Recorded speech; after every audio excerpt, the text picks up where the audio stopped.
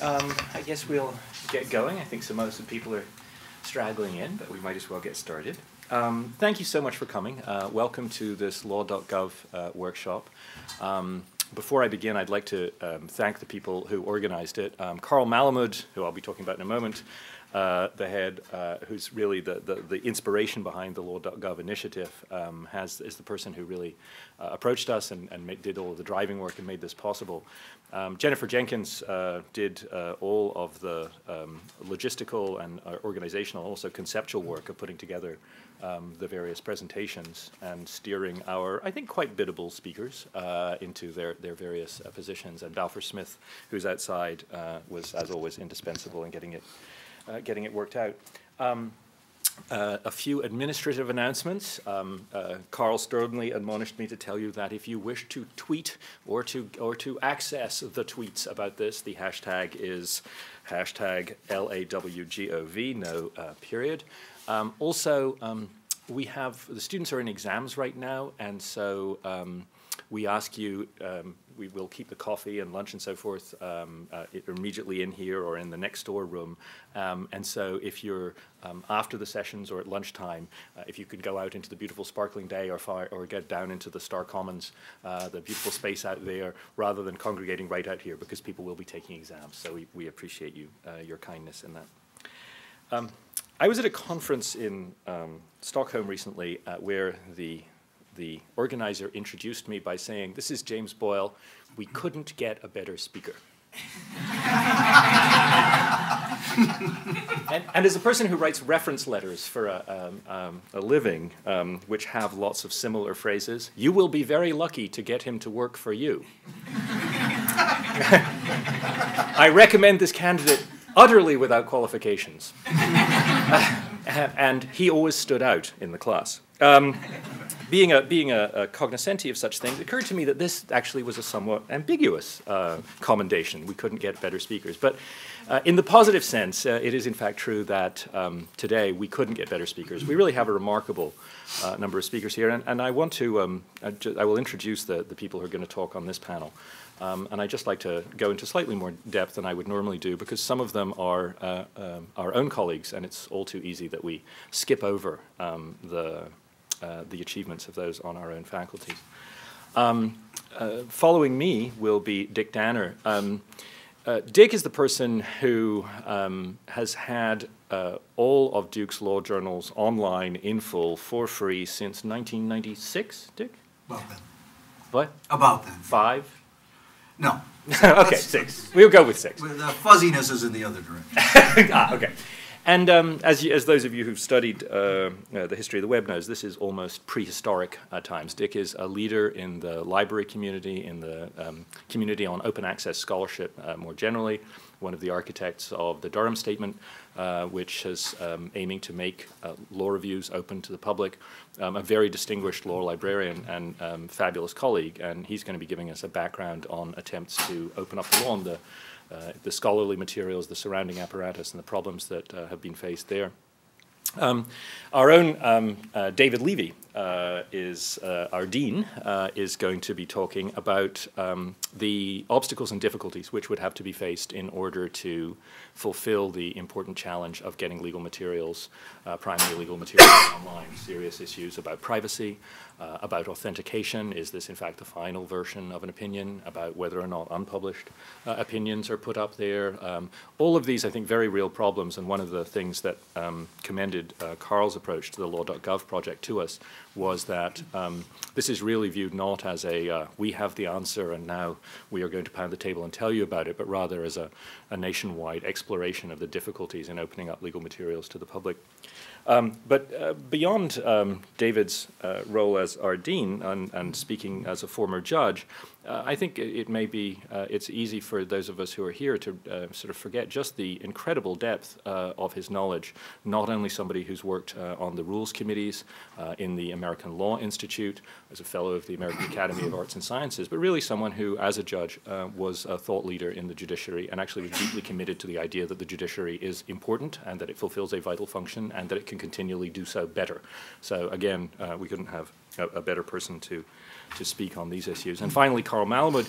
Um, Carl, uh, uh like uh, just as Dick was at the the, the get-go of getting legal materials online for, full, uh, for free. I, I, think the first time I ever saw Carl's name was when he was maybe working with Paul Jones on the original Sun site. This is, uh, again, architectural time in the, in the world of the web.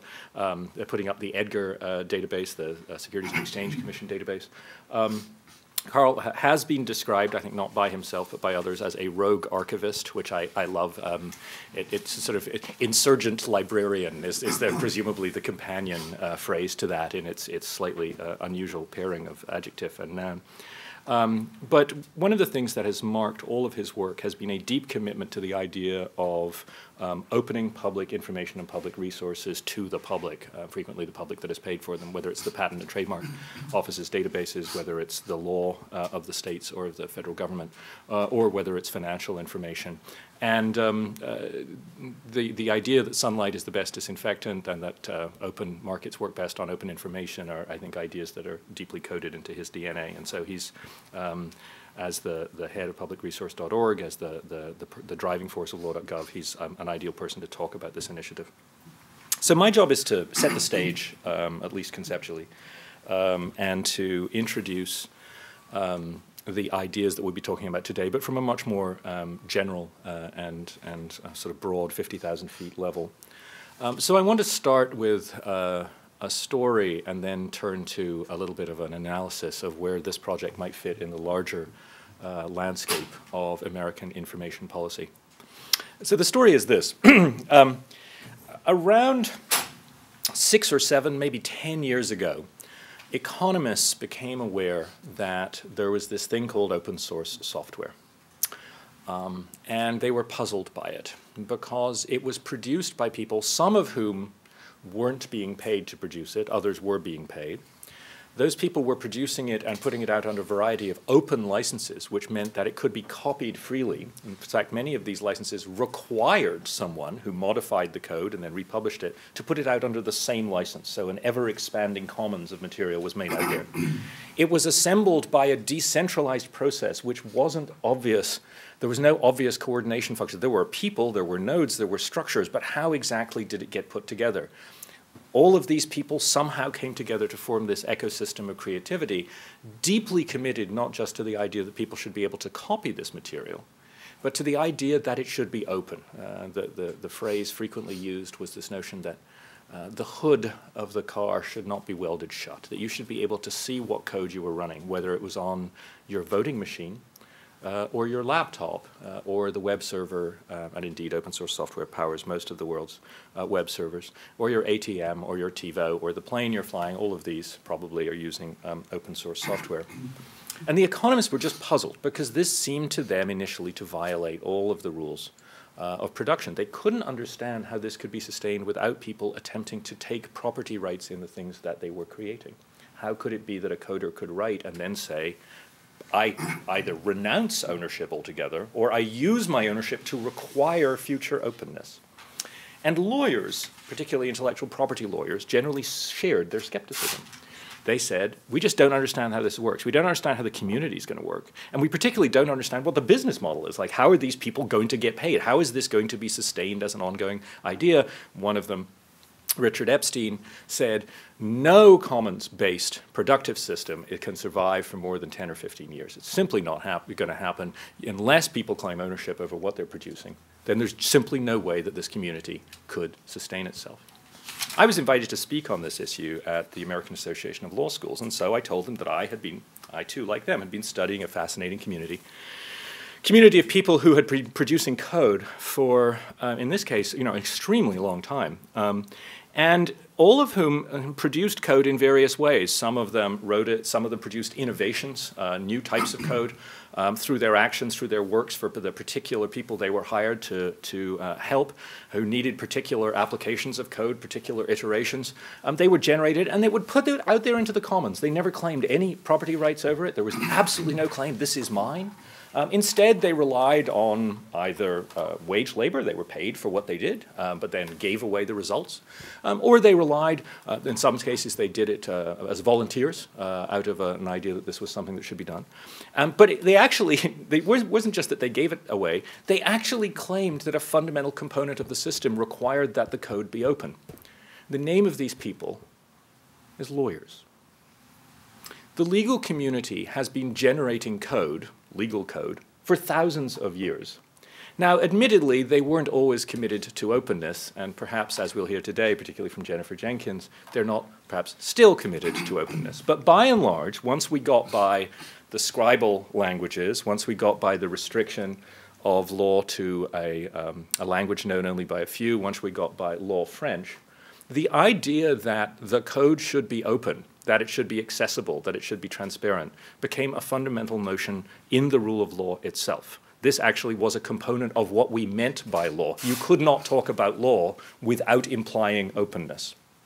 And it was also remarkable that in a common law system, the people who generated legal arguments, novel legal arguments, the first person to bring a particular kind of class action, the first person to bring a palimony suit, the first person to realize that this could be a new environmental tort or that sexual harassment could be cobbled together out of intentional infliction of emotional distress claims.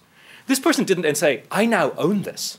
Catharine MacKinnon didn't say, You can't make a sexual harassment claim without paying me royalties.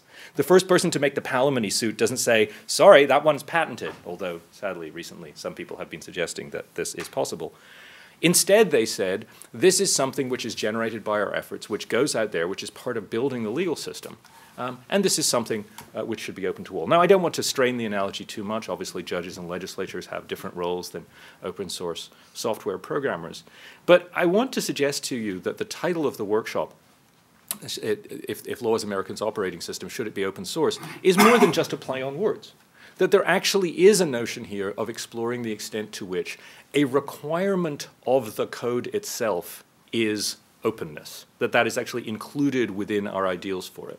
Um, and secondly, that we should explore and think creatively, as the open source software community did, about ways in which one can not only make this open and public, but which then layers of other activities, some of them for profit and some of them not for profit, could be built on top of a commons of accessible material. That's exactly what happens with open source software. Red Hat, for example, makes a lot of money out of software which is completely not owned by them, right? They build a layer of services on it. Lawyers have always done that.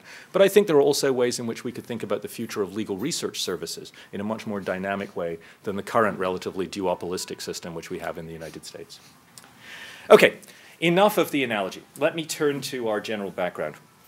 Um, if you study um, uh, intellectual property, or if you study First Amendment law, if you study communications law, you tend to think about your little area as being the only area in which uh, information policy is made. We don't generally think about the information policy of the United States of America.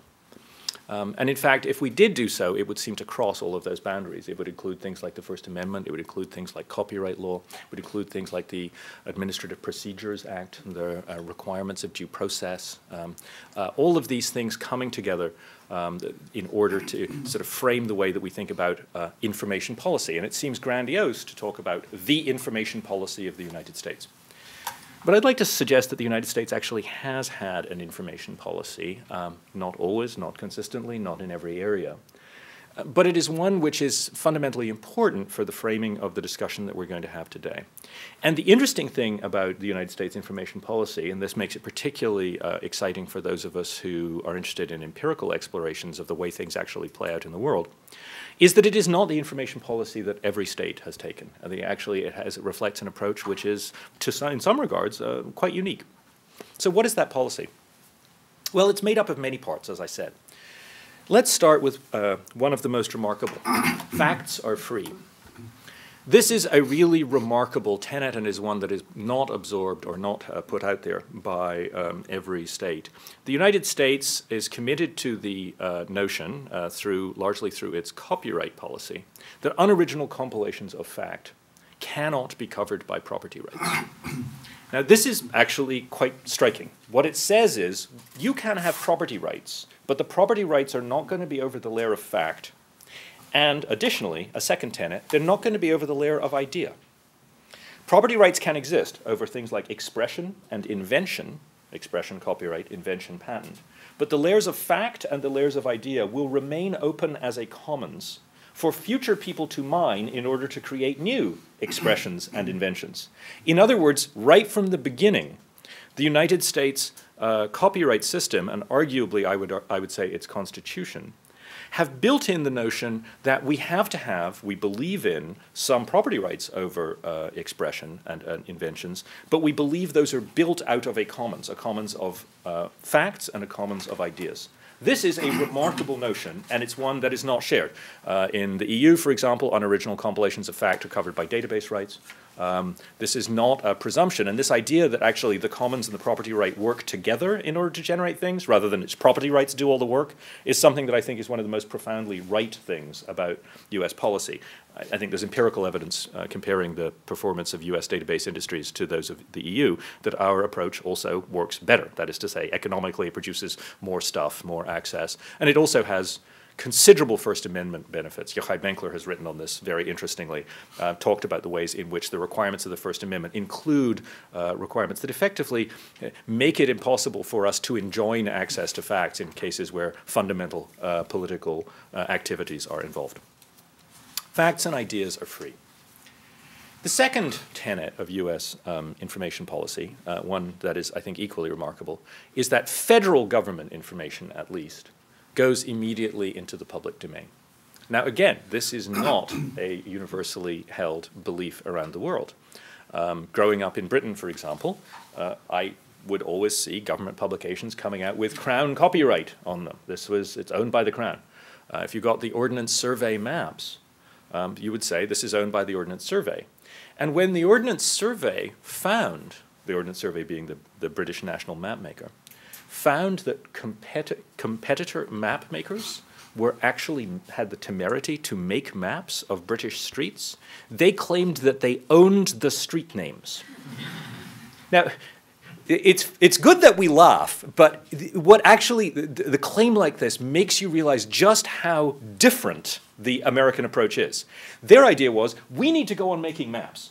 And in order to go on making maps, we need to own the stuff that the maps represent. They, they, Ordnance Survey, I think, doesn't believe in Wittgenstein. They believe that the map is the terrain, right? So they, they look out there and they say, we need to own this because otherwise we will not have the control that is necessary, first of all, to make accurate maps, and secondly, to pay for our activities.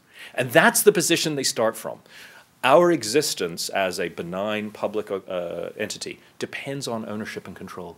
This view, sadly, is one that today is taken by American scientific societies in a, a realm outside of our um, outside of our domain. They finance their worthy activities by publishing absurdly expensive scientific journals, which they then expect noble librarians to pay for. Um, and because they are doing good things, they think that their particular restriction of access through property rights is noble and good, rather than thinking what we do is noble and good the way we pay for it should perhaps be changed. Uh, a separation that is, I think, vital here, and that's one that I think is also going to be relevant when the law.gov program turns to things like PACER. Uh, PACER has uh, generated income for uh, the United States uh, judiciary to do good things with technology. That doesn't necessarily mean that the way that income is generated for, to do good things with technology is through requiring people to pay for access to basic government documents. Facts and ideas are free government information goes immediately into the public domain. And here I want to stress just how important the second tenet is. Um, there's a very interesting story uh, uh, analysis actually that came out of comparing the US and the EU approach to weather data. Um, the US, as you know, as you may know, makes all weather data generated by the federal government available at the cost of reproduction, uh, which if you're getting it online, effectively means whatever you're paying for your web connection for free. But if you want all of US weather data, you can send them uh, a check for a box of DVDs and they'll burn it for you. And I mean all of it back to the revolution, right? All of it. I think it's about 1200 bucks for the history uh, of United States weather data. It might be up as much as 2000. Um, you can have it all because we just give it away. And that's a fundamental tenet of our information policy. When researchers wanted to model the monsoon, which, as you know, kills hundreds of thousands of people um, on bad years around the world, uh, particularly in uh, Pakistan, uh, for example, um, they thought, well, what we should probably do is get as much weather data as we can and run it through a supercomputer and see if we can mash up these models that see these well-studied areas of weather, particularly over uh, tens, twenties, hundreds of years, to see if we can see if we can find patterns which will help to predict what kinds of predictions produce the monsoon. And as you know, this is the, the in many ways people think the future of much of climate climate science is these ever more complicated, more sophisticated computer models. So they came to the United States to NOAA very easy. They send them to you know, 1,200 bucks, 2,000 bucks, and they get all of the United States weather data. Then they go to the EU, and they find that for the weather history of a single German province, they are quoted the cost of 1.6 million euros. As a result, they ran their models using US data alone. That means that the models are less attractive, less uh, accurate, less useful. That's a cost. In this case, it actually may be a cost in human lives, right, because the model is less attractive. It's certainly a cost to science. You might think, well, if we're doing that, there must be some enormous benefit to locking up the material. And indeed, um, studies done by independent uh, um, economists, econometricians, of the European and the US approach have revealed um, that there are benefits. The, U the EU approach is largely to say this activity must cover its own costs. We are generating uh, weather data. That costs money. We have satellites, we have uh, barometers and so forth, and we need to pay for that. And so the way we'll do this is we'll charge people for access to it. The same with maps, the same with traffic data. Right? So the idea is the government is providing this stuff, and so we're going to make the citizens, basically the people who are using it, pay for it, and make people pay for things they buy. We do that in the market all the time. You pay for milk, you pay for bread, right? Why shouldn't you pay for weather data? And there is an economic multiplier to weather data. Weather data, traffic data are extremely useful. They produce, um, those of you who followed the debates over the stimulus package, you know that people would get really excited out of a multiplier of 1.5 or 2 on the spending of it, every dollar, every dollar spent on digging a new freeway or whatever. If it got up to generating $2 back into the economy, we'd go, woohoo, we've really got it.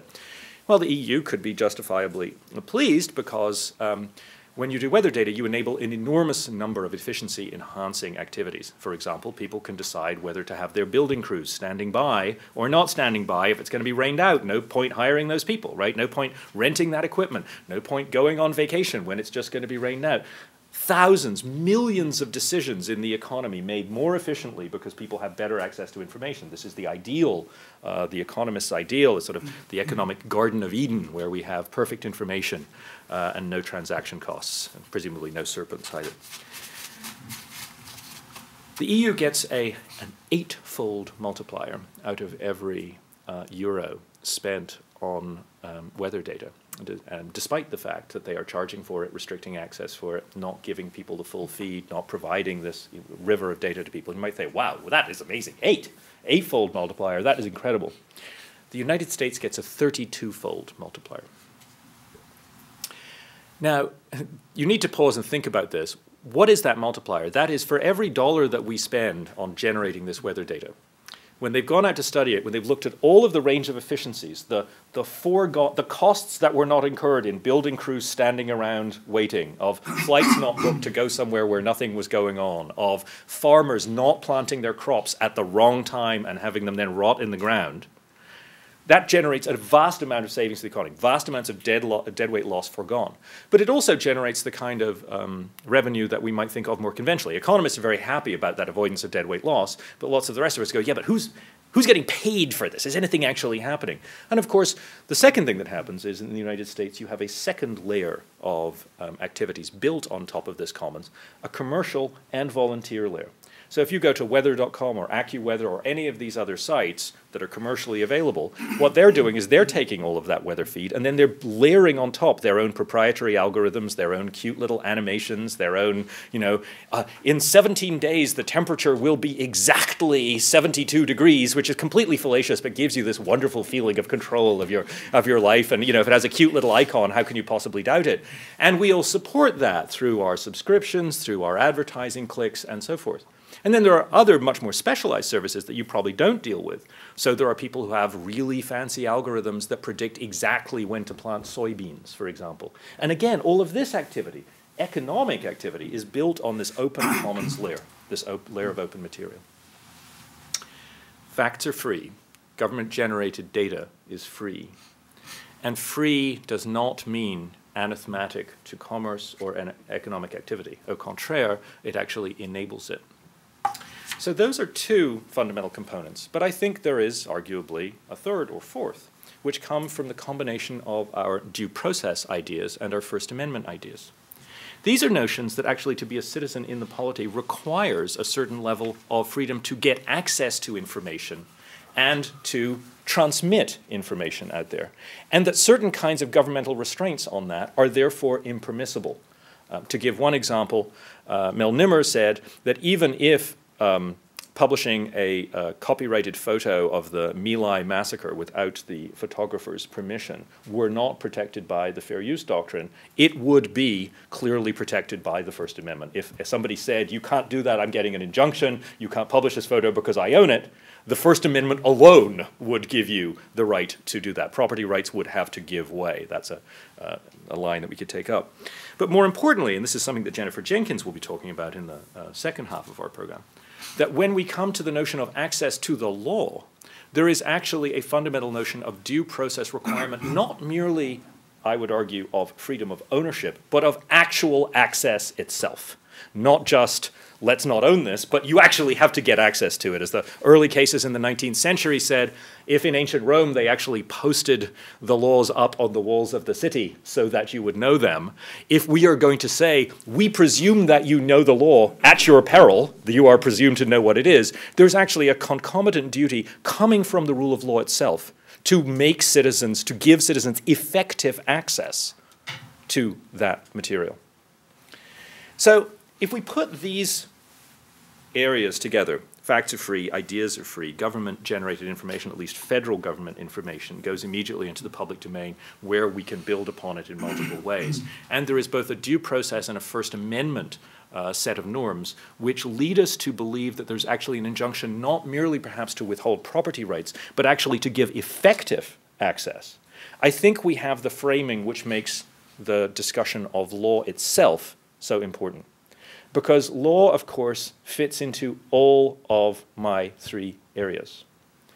You could think of law as a fact or idea. Indeed, in those cases where um, copyright claims have been made over state building codes, the courts um, have deployed the merger doctrine, the idea that this is either a fact or an idea. To know what the law is, the only way of getting to what the law is is what the law is. It's the words of the law. You can't say, oh, that's copyrightable expression. It's the law right? You can't own that. The merger doctrine says when there's only one way of expressing an idea or a fact, it can't be copyrightable expression because to do that would be to give you ownership over facts and ideas. And premise number one, facts of idea, facts or ideas are free. Second theme, government generated information goes immediately into the public domain. What could be more paradigmatically government generated information than the law? The law itself is actually the code thrown off by the operating of the state. Right? Uh, our second premise should therefore require access. And finally, due process and First Amendment concerns seem to me clearly to mandate not merely an absence of property rights, but effective access. So all three of our norms come together to provide a synthetic reason to give access. However, that's great. I had the easy job. I get to set up the normative high ground, the framing around which the rest of the debate goes on. But now there are the details. The details of actually getting it done, of getting it done in a way that is accurate, in a way that's accessible, in a way that remains there, where the archives will actually survive over a long time, uh, that deals with the privacy concerns, that deals with issues of whether or not these uh, opinions are published or not, that deals with the question of how this material could be integrated into the larger scholarly literature on the law, the law review literature, for example. Those are enormous problems, and those are ones uh, which our subsequent speakers through the rest of the day are going to turn to. So, like any good academic, I get to speak first, deal with the, un- the, difficult, the, the, the, easy abstract problems, and leave the more complicated details uh, to my less lucky um, colleagues. So thank you very much. Um, we can take questions briefly here, and then I'm going to turn it over to Dick Danner to take us on the, the next stage of our journey. Maybe a few questions? Mark. Jamie, there's a, going to your second point about the government not owning copyright, that's true if the government generates the data, but if the government contracts to generate the information, copyright exists. And, and, and to my observation, there is an increasing tendency for the government to contract out information generation. Yeah. Uh, the Patent and Trademark Office, for example, is even looking so far as to say, we, we can't manage our own IT resources and we're doing a bad job. We're gonna contract with Google or IBM to now basically own the patent database and license it back to everybody else to, to access. And, and, and perhaps this is something Carl's prepared to talk about later, but uh, that, that's one of the things that we will face is who's generating the information in reality. So this is a, a wonderful point. Um, uh, Mark Webbink, by the way, former uh, general counsel uh, of Red Hat, um, and now working with a variety of the initiatives to uh, help restore our sadly taxed uh, patent system, including peer-to-patent and so forth, um, and working with the Free Software Law Foundation. Um, it, it's a real problem. I've been involved in a, a, number of meetings around this. Carl, I know, has been involved in a lot more. Um, the problem is this: you have, uh, you know, a well-meaning government agency faced with dwindling budgets, trying to generate information for the public. They have a bunch of people who come in and say, you know, we're really good at this. We're private companies. Um, we can solve your problem. We can lower your costs and the person um, who's making the deal says, well, okay, well, what, what do I need to do? Okay, well, all I need to do is like ensure, I don't know, whatever I'm thinking is my obligation to the public right now, like effective public access to the following scans. And so I write the contract to say, you, the contractor, have to provide effective public access to the following scans, the following satellite photos, the following weather data, whatever. But you then get to own the underlying material right, which you have processed or you have, and you get to own more complex services that are put in. You get to be the gatekeeper. So you get to say whether or not someone can take those satellite scans and make Google Match, uh, Google Mashups, or whether or not you could integrate the weather data and the satellite data uh, and the geosciences data in order to produce uh, multi-layered maps, or whatever. The, the whole, all of the things that we can't yet imagine because they have not yet happened.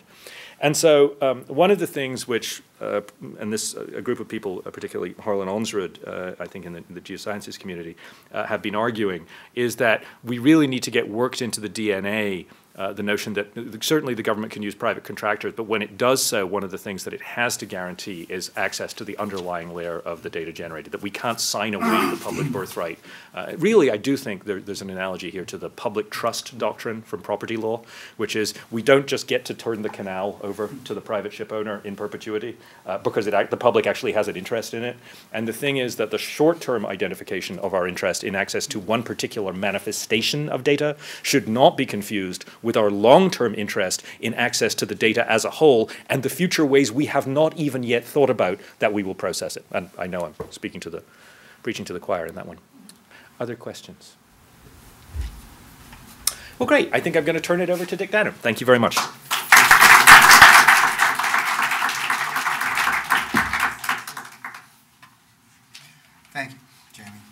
And thanks to Jennifer for organizing the workshop, Carl for joining us, and the others who have come today as well.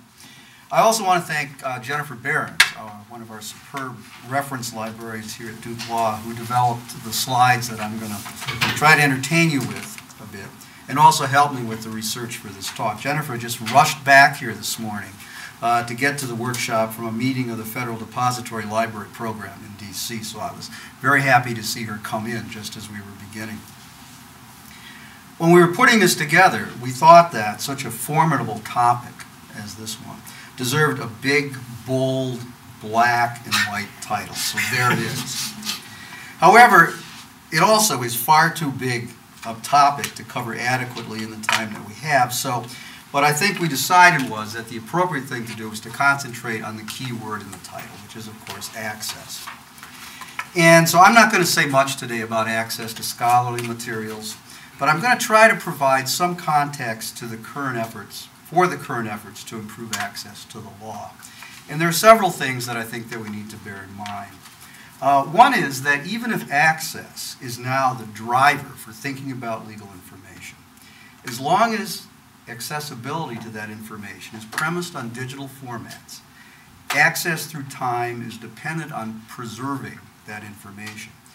And preserving of digital materials poses new questions that didn't have to be faced when we lived and worked in a print environment. Uh, the 2005 report of the Legal Information Preservation Alliance that's cited up here uh, identified the risk factors for digital media as being storage media obsolescence, the idea that you need to refresh the data periodically. You need to move it from one storage medium to the next as the media change over time. There's also software obsolescence to be concerned about, and that's the idea that access and viewing applications change. In many, such as PDF, are proprietary and are in many ways subject to the whims of the market. There are also cultural and organizational challenges, the need for careful management by the creators and the caretakers of digital materials in archives or things that are referred to as archives to avoid problems such as link rot, the disappearance of materials from the link to which they were initially attached, deletion, and other problems, all of which are unknown in the print environment. So when we think about access, it means more than simply accessibility. Legal texts have to be authenticated. This is a problem unknown in the print era before published texts could be easily created and altered and manipulated in electronic formats. It was pretty easy to tell when a print text had been altered. Legal texts have to be preserved. And this isn't simply a matter of making sure that they're printed on low acid paper or maintaining proper temperatures and humidity levels for storing books in microfilm. And accessibility, we have to think about this not only in terms of ease of access, but also, again, the need to make sure that the texts are permanently accessible. Uh, it's worth noting, I think, that the American Association of Law Libraries has had preservation of legal information as well as access to legal information for the public as a long-standing concern. As far back as 1981, AALL established a standing committee on legal information services to the public. In 2003, the association issued a state-by-state uh, report on permanent public access to electronic government information, which was followed in 2007 by another state-by-state report, this one on authentication of online legal resources, which was updated earlier this year. In 2008, in December, AALL's statement to the Obama transition team outlined the association's positions on free public access to government information, public domain citation, no fee access to PACER, as well as on copyright and privacy concerns. Presently, AALL has state working groups that are engaged in efforts to preserve authentic print publication of official legal materials when states threaten to stop printing materials without creating authenticated electronic versions. To ensure that electronic information which is unofficial contains clear disclaimers about that fact. And now to assist with creation of a national inventory of primary legal materials, something that Erica Wayne will discuss this afternoon in her talk. Um, I wanted to show you some pictures, of course, of law librarians. So here are two famous law librarians, uh, one sitting on a stuffed horse in front of his library, and the other one deep in thought about legal research. In fact, that's the picture from the cover of a book which is called Thinking Deep Thoughts About Legal Research. So clearly that's what's going on. Uh, this is Roy Mersky, who was for many years the law librarian at the University of Texas. Bob Berring, who was for many years the law librarian at, at Boalt Hall. Uh, Roy and Bob are also two of the authors of the primary texts and treatises on legal research. And all of those texts, all of those books, define legal research as the search for authority, which leads us then to ask what is authority? What sources are authoritative? Now, if you, if you research this a little bit, you can find out what Fred Schauer says. And what Fred says is that the status of a source as authority is the product of an informal, evolving, and scalar process by which some sources become progressively more and more authoritative as they are increasingly used and accepted. Fred's own research has suggested that U.S. courts are citing an increasingly wide range of sources as authority for their decisions. But I think what matters to us here is the more traditional view of what stands as legal authority. Uh, these are sources that are issued officially by bodies authorized to create law. Cases, statutes, administrative rulings, and regulations, the things usually referred to as the primary sources of the law. Now, access to the primary sources of law has not always been easy for American lawyers. Throughout the 19th century, what they wanted was case law. They wanted reports of judicial opinions that had established precedents for resolving new problems. Immediately after the American Revolution, there was little published American case law to be found, and lawyers, uh, lawyers and courts relied much more than they wished to on English sources to find out the law. Kirby's reports, which is pictured here, was the first volume of state law reports in the U.S. It came out in 1789.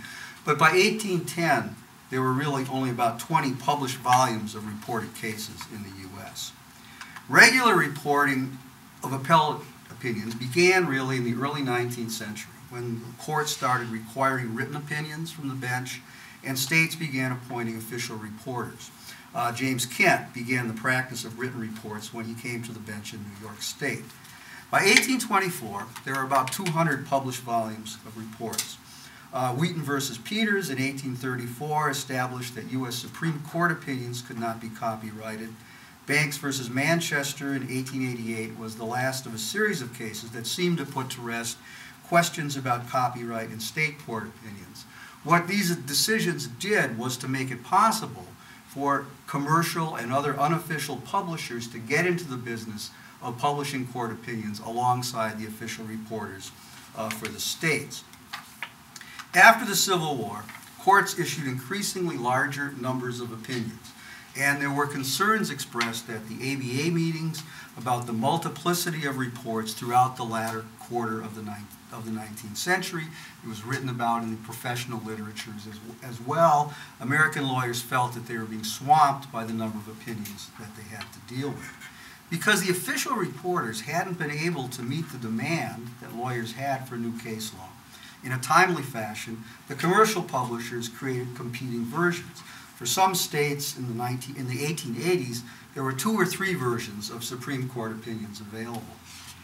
In the midst of all this, John B. West, who is shown here, began publishing a weekly newsletter in 1876 with the title The Syllabi, which provided summaries of cases for Minnesota lawyers. By the end of the century, West Publishing Company had established, however, a near monopoly on publication of state and federal reports for all the states as well as for federal cases, and eventually drove most of its competitors out of business. West's philosophy was simple Everything issued by the courts should be published and made available quickly to American lawyers who feared, of course, not finding that one case on fours, on all fours, which would resolve their issue. From approximately 1875 to 1975, nationwide access to state and federal cases was almost exclusively through West publications, the reporters and the digests and finding tools and other things that they published. By 1975, when the first electronic legal research systems were introduced, an estimated 3 million reported decisions had been issued by U.S. reports, published decisions, with about 44,000 new opinions being added to the total each year. The published law was available in print, but it needed to be housed and organized, made available, and preserved. And in the late 19th century, we saw the development of the great American law libraries, first in bar associations and then in university law schools. This is the Harvard Law Library, and I don't know how much that guy actually used those books, but there he is. Um, it's, it's funny because when you do a Google search for Harvard Law Library, this is the picture that comes up. Government documents and depository libraries also provided some access for the public particularly after reforms in the distribution system in 1895 made congressional materials and other federal materials more available more widely throughout the country than they had been previously. Here's uh, Morris Cohen, another great law librarian, although I'm not sure that's the best picture of it. Um, described the situation facing of legal, facing users of legal information in the 20th century. The amount of law to be considered on almost any issue continued to grow and as new information technologies began to be applied to law in the last quarter of the 20th century, lawyers were faced not only with enormous amounts of information, but with, but with what Jason Wilson calls a feast of formats that took us from print to digital via microforms, floppy disks, CD-ROMs, and online websites. Lexis and Westlaw were initially called computer-assisted legal research systems when they were introduced in the mid-1970s. And they appeared around 1975 in approximately the same, as prox, approximately the same things that they are today.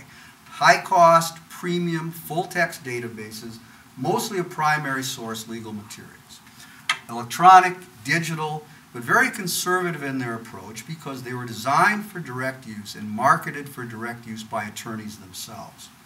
The Lexis Custom Terminal, which is up in the upper left on the screen, uh, was, as you can see, was an entire desk, which had a keyboard, a monitor, that's a modem sitting underneath the monitor, and this was des described at the time by some people as being the moron's Cadillac. And um, we used to have one of these in the library. The one that we first had looked a lot like that, except it had an acoustic coupler modem, if you remember those. This was something where you took a telephone and you stuck it into the, into the modem, dialed the number, and then you connected for us to Lexis's uh, system, which was in Washington. We, in those days, only had Lexis available to us for about two or three hours a day, but we had a local phone line uh, going to DC that ran all day long so that when we weren't, somebody wasn't using the terminal for Lexis searching, our faculty would come down and use the phone as a local phone call to DC. Tom Rowe was famous it's natural. Um, but eventually, uh, Lexis came up with the smaller terminal, which you see in color on the right, which was called the UBIQ for ubiquitous. I think we like the way that those Matthew Bender books are sort of pouring into the terminal. And, uh, and that was designed, of course, to bring legal research right to the desktop. You could have one of these little red dedicated terminals sitting on your desk and no longer had to come and use that big desk-sized terminals. Now, because Lexis and Westlaw and other seem to be, and Westlaw and Lex, Lexis seem to be like electronic versions of the reporters and other law books. Westlaw, of course, was based on the books that West published, and so it was natural for lawyers to believe that their were, contents rather, were authentic. And of course, the information was accessible to those who needed it, lawyers, and those who could pay the price for it, of course, who were also lawyers. There wasn't any thought then about public access. Was that, were they permanent? Was the information in the digital formats accessed via Lexis and Westlaw permanent in the same way that the books in the library were? No, of course not, but nobody thought about that. No one cared because the books still existed. When Westlaw was first introduced in 1975 or so, it didn't have the text of cases. It merely functioned as an index to the books in the library that West published. Beginning in the 1990s, of course, legal information began to become more available electronically than through those two services, not only to professional users, but also much more readily to the public. Uh, and from sources other than the premium vendors lower cost sources and free sources. Uh, the lower cost sources, which were marketed mainly toward lawyers, had more limited content than Lexis and Westlaw, and some but not all of the features of those services. They were marketed to the bar. Examples of this are Casemaker, Loislaw, Fast Case, VersusLaw. There are others that have come and gone over time. Free access to at least some materials became more accessible through court websites, through government sources for the federal government, GPO Access and Thomas, and through Cornell's Legal Information Institute and other sites that were designed specifically to improve public access to the law and to make legal sources freely available. So today, American law is clearly much more accessible electronically and sometimes in print than ever before, but not necessarily easily or reliably accessible. In the rich legal information environment of the early 21st century, some of the same questions apply as in the late 1880s. How can I get this stuff? And certainly there is still way too much of this stuff to have to deal with. But there are new questions, and the new questions are, where did this stuff come from? Is it authentic? And where did it go? Who was supposed to be saving it? The difference between this time in the era of the great libraries is that we can no longer assume that libraries will provide access to authenticated legal information or to preserve it in the ways they did in the past when the law was published in books that libraries collected, kept, and preserved. But does anybody care? As authoritative legal information is published only in digital formats, there aren't going to be any print sources to turn to to verify authenticity. And we can't assume the authenticity, even of official sources published electronically, unless some mark of authentication is provided. And the trust, well placed or not, that American lawyers once gave to Lexis and Westlaw's databases doesn't necessarily obtain when cases, statutes, and other authorities are widely available on the web, more cheaply, or for free from a variety of sources. Where did Google Scholar get those cases anyway? Do we know? And as Jason Wilson colorfully put it in his blog last year, authenticity is not the first concern for lawyers who are trying to find free or low-cost access to the materials that they need. As a result, it's also unlikely to be the first concern of citizen researchers who are merely trying to find the law and then make some sense of it once they do. But this is an era, this slide now is going to be wasted. You'll see why. This is an era in which the National Archivist blogs about Martians while issuing his agency's first open government plan, which is a plan to vastly improve the public's use of government records, not only by making them available on the web, but also by developing a social catalog which will allow users to employ social media, Web 2.0 technologies, to contribute their own thoughts to descriptions of the documents. The last thing I put here on my notes is what a guy, but where is he is I guess the question. David is going to be with us, I believe, this afternoon. he's at the, the rally. Um, so here we are again. Same basic issues for legal text that I mentioned at the beginning. This is an era also in which public demand for access to the law has never been greater. Uh, and as Peter Menell, the director of the Boalt Hall Center for Law and Technology, recently wrote, modern digital technology provides unprecedented opportunities to promote preservation and access to knowledge. The challenge for all of us is going to be to ensure that efforts to improve access to the law for the public and for legal professionals will take into consideration the needs for authentication and preservation as well as access. And it is for this that I think we all look forward with excitement to the possibilities of the law.gov project. Thank you.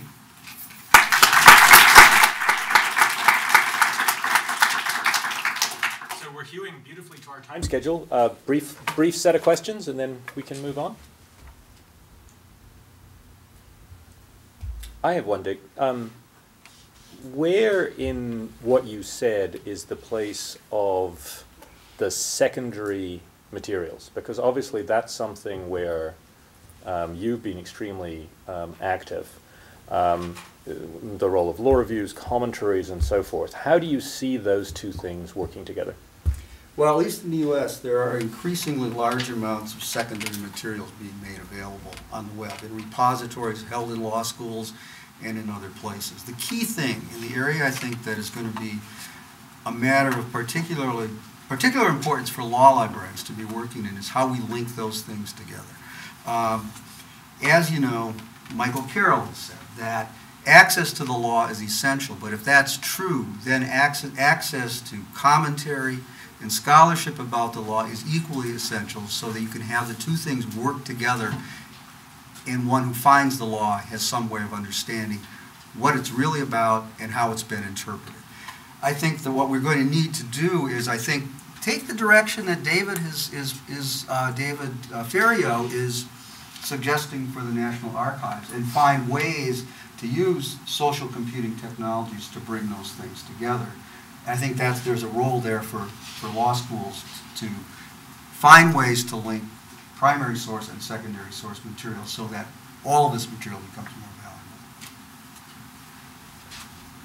valuable. Great. Thank you so much. Um, David, um, should we be talking here, Wayne? Are we, are we, were you picking up enough sound on that? Um, Yeah, this is better. Yes, okay. Well, thank you. Uh, Those were wonderful talks, and um, I'm I'm I'm jealous of the uh, the ability of, of of both Dick and and and Jamie to conceptualize and to and to to see these issues as they developed. Uh, Over the past almost 20 years, I- I've been more like the fellow with a dustpan and a broom that follows the elephant around in the in the circus, and mainly simply reacting to the technology as it, as it changed and, and as we had to cope with it as, as federal judges. So I, I was chief judge of the Eastern District of California, which had the highest weighted caseload per judge in the nation at the time when we made the transition from paper filing to electronic case filing. You'll hear um, that called ECF or CMECF. I was chair of the Civil Rules Committee when we drafted the rules for electronic discovery, e-discovery. And then I was chair of the Standing Committee of Rules and Practice and Procedure, which is the umbrella committee for all of the Rules Committee committees when the E-Government Act went into effect and required that each one of the rules committees, the Bankruptcy Rules Committee, the Criminal, Civil, Appellate, and Evidence Committees, issue new rules under the E-Government Act to deal with the problems of, uh, well, to preserve privacy, essentially, if, if court records are to be made to be made public. I thought um, it would bear beginning here just simply to, to say how far and how quickly we've come in the, in particularly in the federal court system, which is what I, what I know best. I, I don't, um, I won't represent that what I say here uh, this morning is true of all the state court systems because they're extremely varied and they're, um, and, and it would be difficult to generalize. But it is true now that in all federal courts, that all opinions, all local rules, all standing orders, all orders of judicial officers are free and in a very short period of time have been put up on court websites and are freely available to anybody um, anywhere in the world. And very few cases are sealed. And so this means that there's a wealth of information up on the web every, any action by any federal officer, any federal judicial officer that is memorialized in writing is freely available and, and generally speaking, relatively easily available. Uh, if you go to a court website, you'll, you'll notice right away um, that most of them are, are pretty unsophisticated. They're not, they're not nice to look at. Um, courthouses are uh, not uh, well-staffed uh, in the Eastern District of California, and I'm sure it's true around the country. We don't have web designers. Uh, you don't generally get nice music when you go to a court website, uh, and you often don't find your way around all that easily. But the judges are very aware of the fact that they have an obligation under the E-Government Act to make uh, their opinions available.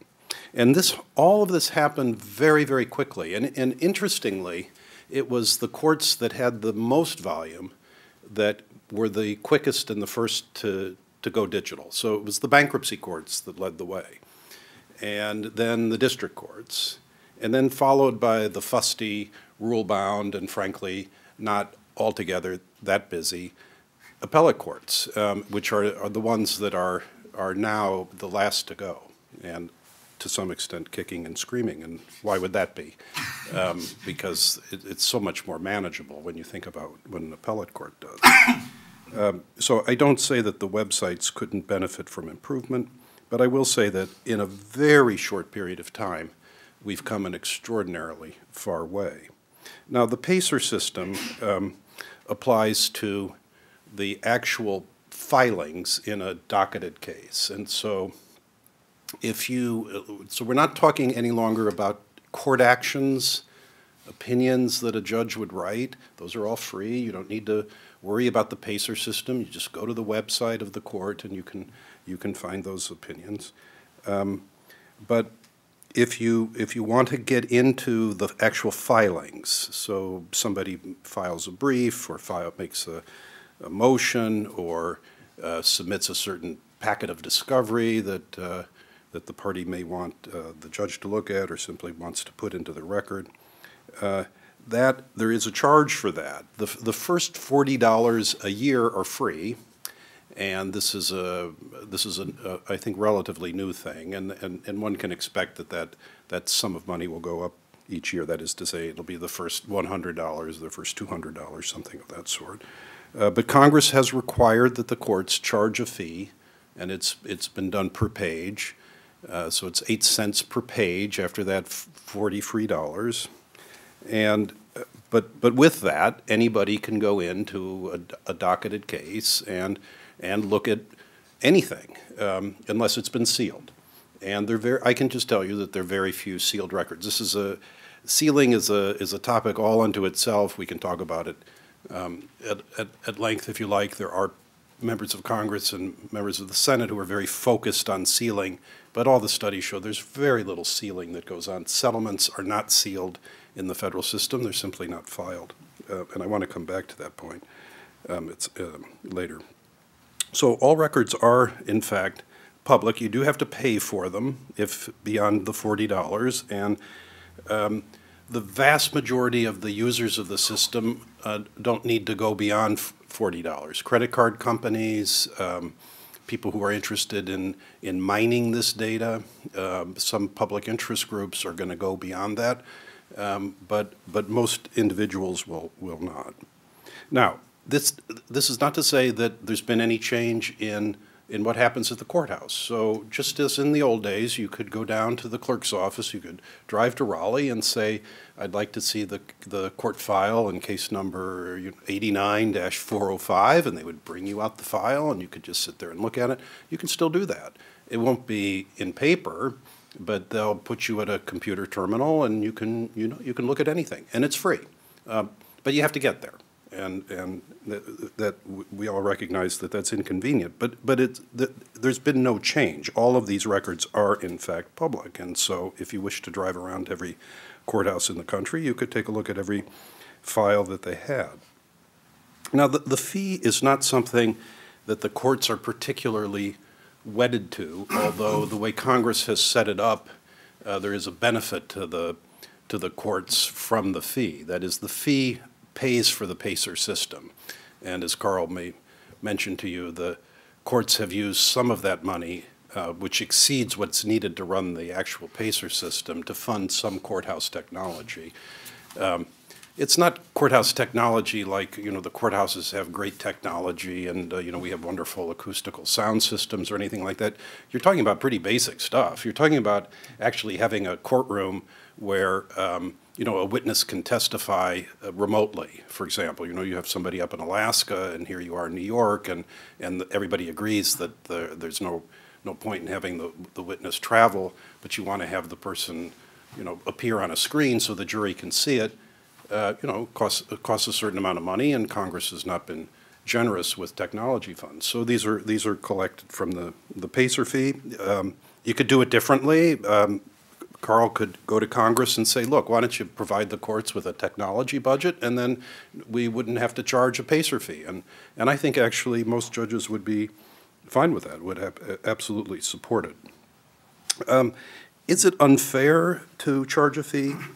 That is to say, you know, should, should we just consider that everything that is put into a courthouse as a depository, that everybody should freely have access to that? Is that, is that as a matter of social policy, do we think that that's unfair?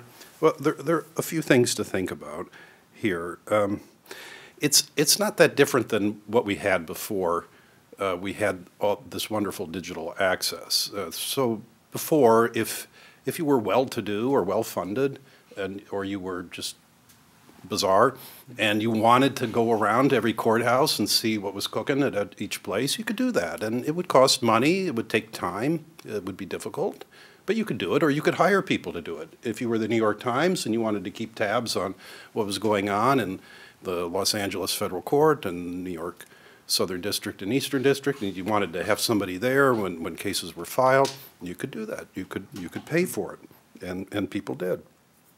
And other people didn't have the, the funds or the time or the interest or the means uh, to do this, and, and they would do it on a more selective basis. Well, that's, that's still the case. Um, what about the civil justice system? Is this a public good? Well, in some ways it is. Uh, we tend to pay for most things in the federal system, although this is not, not universally the case. We, we don't provide lawyers free of charge to civil litigants who can't afford them, and many of the litigants in federal court have no lawyers, and that's, that's an issue that I'll come back to. Um, how strong is the public-private distinction in, in, in, these kinds of records that, that, that I'm now talking about? Remember, everything the judge does uh, that's reduced to writing will be freely available. That's an opinion, it must be made available. But the litigants, these are not government actors, and so if I'm a litigant and I decide uh, I want to file a copy of um, Jamie Boyle's book, I can do that. And then, of course, Jamie wouldn't care if it were freely available to, to anybody on the PACER system. Um, and he would see that he'd probably actually make money off of that eventually. But, you know, other people might care. Or, um, you know, perhaps I have photographs of somebody in a compromised position, and I just think that it would be neat to file them in this case, and, and I do, and they become available to anybody around the world. Now, is that government activity? Um, is it? Well, you know, you could argue it, I suppose. You, you, the argument for considering it to be a, a, a government document is that there may be judicial action eventually predicated on that document. Um, and so in that sense, it's like the, the, the, judge's opinion because it relates to the judge's opinion. On the other hand, it's, it's, it's not something that, that the judge ordered to be done, wanted to be done, participated in the filing, or anything of that sort. So is it a public record? Is it a private record? Do we have the same feelings about the strength of access? Should the public pay for somebody to have free access to a document of that sort. I, I think there's some, some questions about that. And then keep in mind that what we're running basically in the civil justice system in this country is a settlement system. And so most of the cases, 95%, something like that, of the civil cases that are filed in a courthouse are going to be settled. And of that, of that they, they won't go to trial. And they may not even go to any kind of motion. They'll be filed, and after a period of about six months, they'll simply be over. They'll be settled. There won't be any judicial action. There, all the government will have done is simply to have been a receptor of filings. Now, does a public right of access get triggered? Uh, do we think that the public should actually spend money to make these filings freely available? Uh, it, does this implicate some of the values that, that, Jamie was talking about? It seems to me it's more attenuated. Um, and then you have to consider that there are other needs in the in the in the system. Is this is this a priority, or or would we think that well maybe providing lawyers in some cases and we should put our dollars there? It depends on on how um, you know how, how we want to spend our our money. Uh, the they're analogs to what I'm talking about under the old system. We we changed Rule Five when I was chair of the Civil Rules Committee, which talks about whether discovery should be filed in the courthouse. And I, I wasn't alert to the issue, frankly, until we published the the rule for for comment. And and what, what was happening is that discovery was being filed in in massive cases, and courthouses simply didn't have the space for. Um, uh, truckloads of documents. And so by local rule, most of the courts were saying you don't file discovery until the, um, the judge tells you to file them, tells you to file it. But when we published the rule, many of the newspapers objected because once the discovery is within the four walls of the building, then the public right of access is triggered, and so this becomes a source of information. But again, is, are they government records in any, in any sense that is meaningful, or is this just simply um, sort of private information or private documents being put into a government warehouse? And uh, the rule was changed because courthouses simply couldn't couldn't handle it. And I think that to the extent that uh, digital filing become places burdens on the courts, you'll see the same you'll see the same tension. You'll see courts um, you'll see courts saying, don't file that. We, don't file that until I tell you to file it, because it simply creates problems for the, for the courts once it's within the four walls of our computer system. So uh, those are some things to think about. Now, um, I think we're over the period where, where judges were resistant to the notion that everything that they do should be available on the web, free of charge, through our court system. I will say you probably see some battles in the states over this. There's a kind of a culture that you should be aware of that that is um, that pushes back a bit on this, and it has to do with some of the history that, that that Dick was talking about, in the sense that there's too much out there already.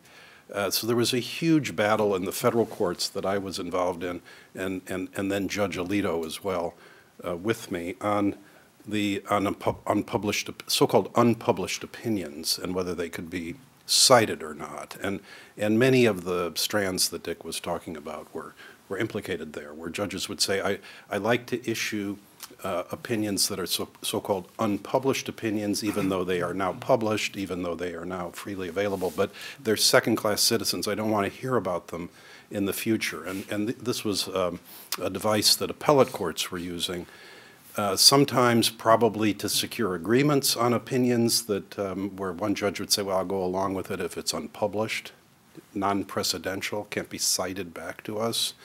Um, Or perhaps they just weren't too content with the lawyering in the case. Gee, you know, this is an important issue, but the briefs we're getting, they're, they're lousy, and uh, we don't want to write an opinion that is going to bind the court in the future on the basis of this kind of record. Or maybe they just felt um, under the gun for time, or they didn't think the, the uh, issue was terribly important. They didn't want to, uh, it's just a process of triage in the courts. We're just not going to spend that much time worrying about how, what, what our how our language might apply in future cases. This is not, not the case to worry about it, so don't, don't cite it back to us.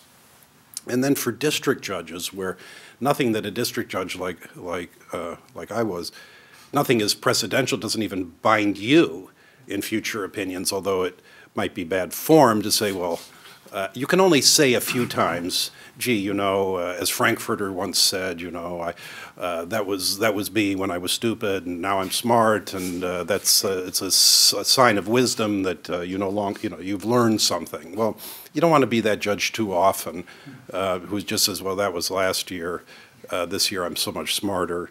Of course, the reverse might be true, and. Um, but, but district judges like to be able to say, gee, I think I did a really good job on this opinion and it'll be really helpful and I'm sending it for publication.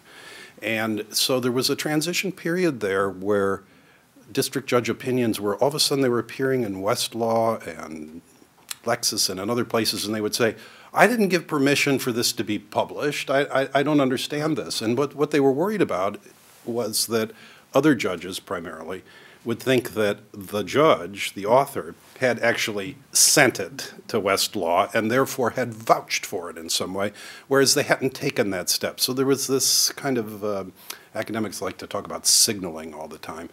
Um, and so there was this kind of uh, signaling function that would that would occur when when the judge actually sent it, and the judge was now concerned that the signals were getting all confused because they weren't actually the ones who who sent it. And you could imagine a system where a judge would write an opinion and say, you know, I, and I really mean it, or and I don't really mean this. Um, but we probably wouldn't be all that happy with that system. But that's kind of what we had, um, and it was working. It's um, you know the lawyers in the room know know about legal fictions, and there was some kind of um, sort of legal fiction going on here. But we're through that, and so now what we have is all the opinions are out there. Any opinion can be cited, and it's up to the courts of appeal whether to give them precedential weight or not.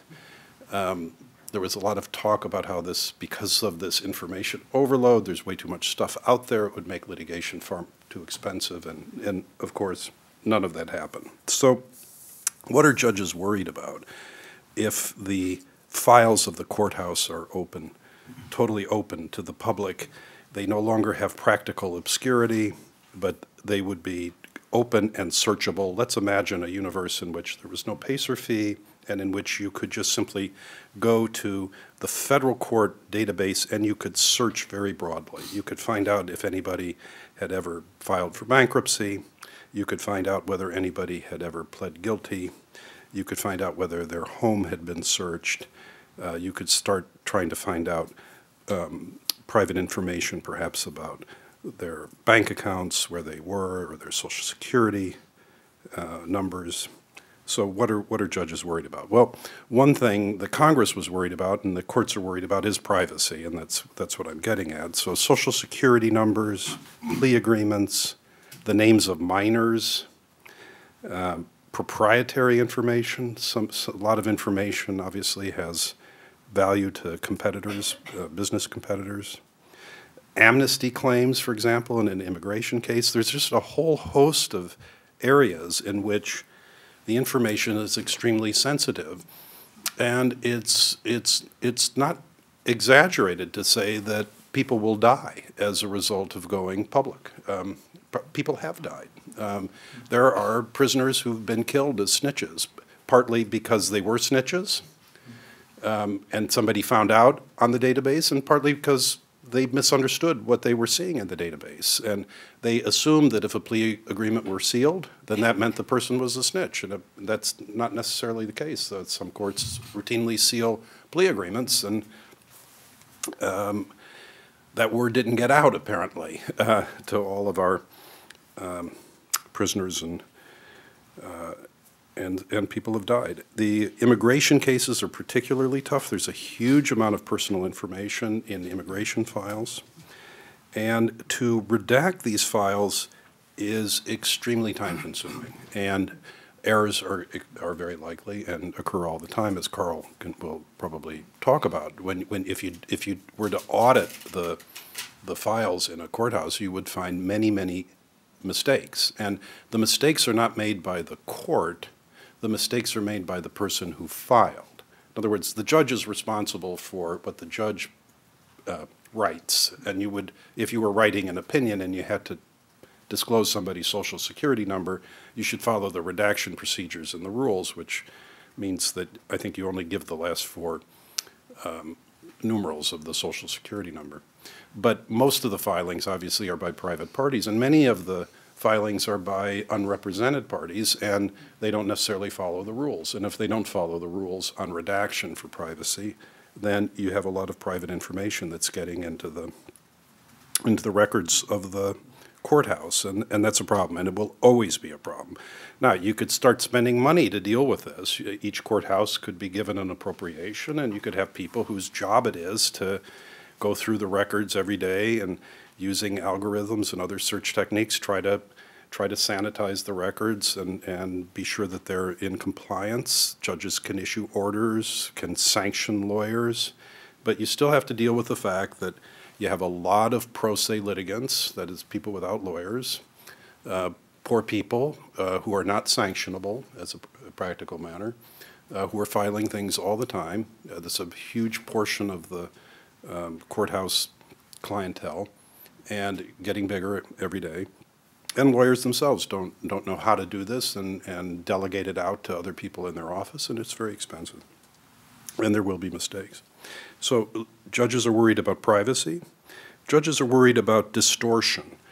Um, there's a gray mail phenomenon. Uh, all litigation, uh, the transaction costs in litigation are so high that um, and trying to reduce those transaction costs is, is one of the goals of, of modern law reform. Uh, we want cases to be decided not so much on uh, the efficiency of the litigation, but on the justice of the underlying claim and, and, and, and with reference to the, to the law that applies. That's the goal. That's the way most judges would view it. So when, a, when someone settles a case because they simply can't afford the litigation or think it's not worth the candle, um, I think most judges would say, gee, I mean, that's reality. Uh, we all do that, but it's kind of too bad. And if you could find a way to reduce that cost, that would be a good thing. That's, this is neutral, I think, as to plaintiffs and as to defendants, although it's often the complaint of defendants. And, and the reason for that is that it's often the case that the plaintiff has actually very little in the way of discovery to turn over, and it's the defendant's records that are really the issue. And so it's the defendant who will bear the costs. Well, if you have a, if, if it's a weapon to actually load into the court system to make available to the world information which is embarrassing or potentially proprietary or somehow harmful to the defendant, then this becomes a, a, another lever in the litigation unrelated to the ultimate justice of the claims. Uh, and I think most, most judges would be concerned about that because it distorts outcomes. And then finally, the cost. And I've, I've, I've spoken about that. I don't think we should underestimate that. Um, and let me just put the tension as strongly as I can. We're trying to build a litigation system, after all, which is open to as many people as possible at as low a cost as possible. And every time you say to somebody, well, you have to pay, in addition to simply filing the case and paying the filing fee and learning how to file in the courthouse and learning the law, you also have to pay now somebody to go through all your records and make sure they're redacted for privacy because of because they're going to be available to the entire world, and that could add potentially thousands of dollars to the cost of the litigation. That, that's a true cost, and we have to we have to take it into consideration. That doesn't mean we don't necessarily want to bear the cost, but it is a cost, and um, and I think it's it's you know it should be of, it should be of concern. I, I think there's an amazing amount of agreement in this area, and so I'll be interested to, to hear what Carl has to say.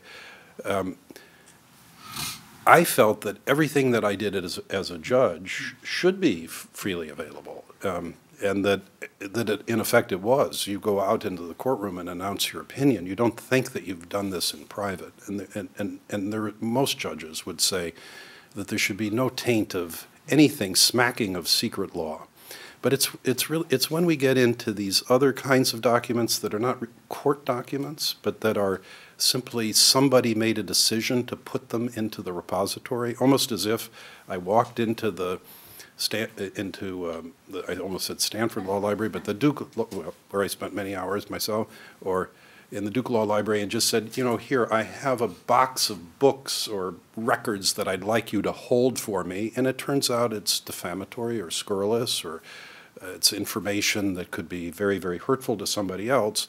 I mean, that that's the situation that we're in, and um, and you can see it, you know, from from both sides, as is unfortunately so often the case. So, thank you very much.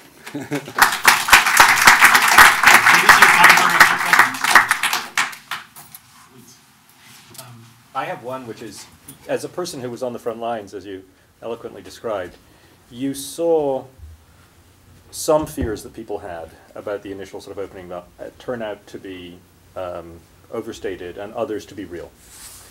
Um, and certainly, um, it seems that when you go beyond the primary legal materials that are the main focus of law.gov, you, you pointed out some real, some major concerns, cost, privacy, and so forth.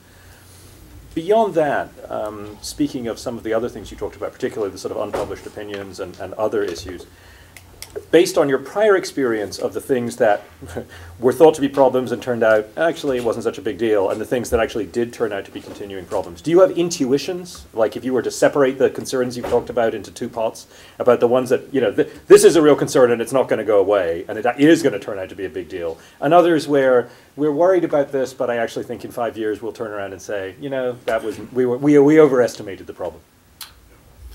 I, I, don't think the privacy concerns will, will go away, and I, I think, um, and that's, that's too bad. I, I- and, and these, the, the, these privacy concerns are, they go be, standing before you, I can't, I don't know all the, air- I, I'm, I'm, I'm always learning about, when, when I go to the committee meetings, I'm learning about new concerns that I, I didn't know about. For example, I don't know much about immigration A files. Oh, yeah, I mean, I've seen them, but, but you know, there's a lot of stuff in there. Um, there are things in there where, where people say, gee, if you return me to Costa Rica, you know, this person will kill me. And now, if, or, or I make, the, you know, I'm, I'm worried about this group, and, and this is why I'm worried about them.